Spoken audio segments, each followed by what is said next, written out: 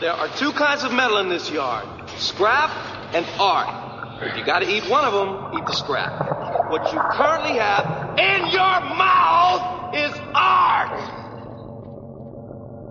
What is it? It's a robot. But like a, like a different, you know, like a super advanced robot. It's probably Japanese. Yeah. It's definitely Japanese. It can't be bargained with. It can't be reasoned with.